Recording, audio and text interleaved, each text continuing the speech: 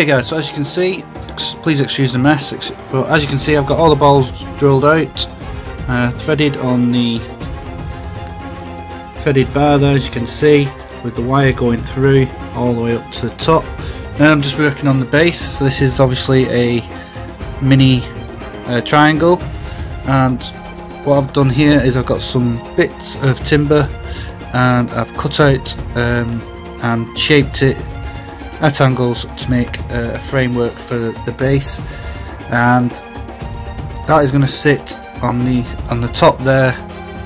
And then I'm going to stick it all together.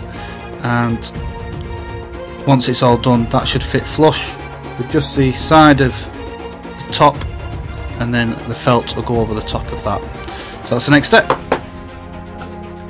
Okay guys, after much cursing, because we are currently going through a heat wave at the moment and I'm absolutely roasting, but I found, I've managed to get this on.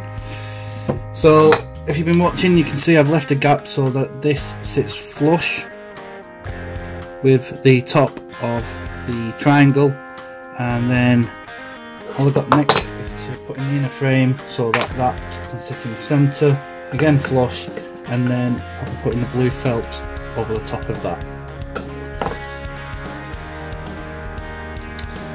Okay guys, that's the inner framework now done, glued into place and nailed in as well, so that's solid. I've also gone out and got two big washers, one for the top and one for the bottom, and a threaded rod that's going to hold all the balls in place.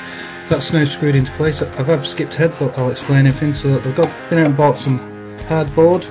I've cut a hole in the middle so it slots over and fits in place over the washer, and once it's in, it's all nice and flush. Got the blue felt, which I'm going to be putting on next, and that is just going to wrap around the outer edge of the hardboard underneath and glued in place. So let's get that done.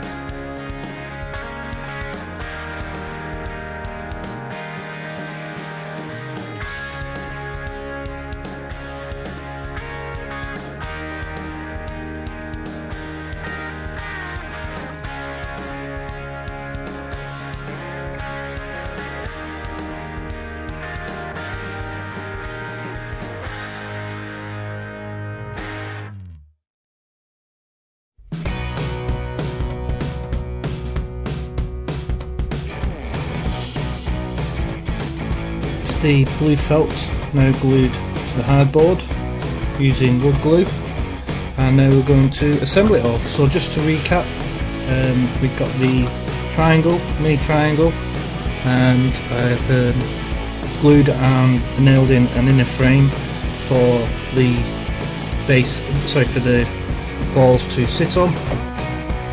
Use um, hardboard and glued blue felt onto that once I'm assemble it, um, I'll glue the inner part to the big washer.